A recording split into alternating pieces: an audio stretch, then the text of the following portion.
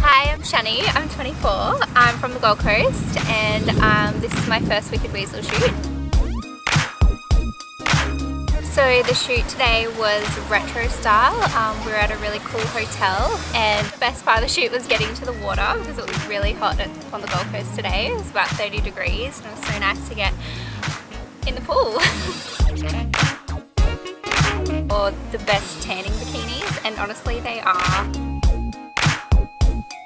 My guilty pleasure would have to be pizza and chocolate and wine all at the same time.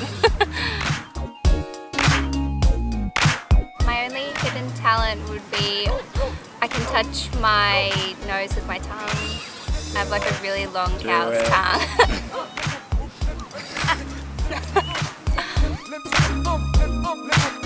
Thanks guys, I hope you enjoyed my shoot. If you want to see more, go to wickedweasel.com.